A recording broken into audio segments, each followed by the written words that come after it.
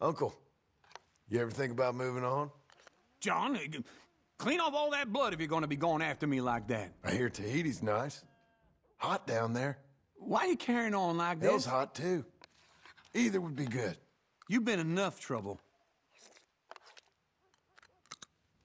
What kind of people we become?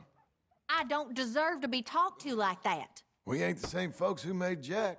What is your problem? We're barely the same that woke up this morning. I'm ignoring you, I don't John. get you, boy. I'll try John, and do you leave her be. Just don't understand. Are we done? Okay, You best You're a cut that out, John. right. I'm just gonna do this then.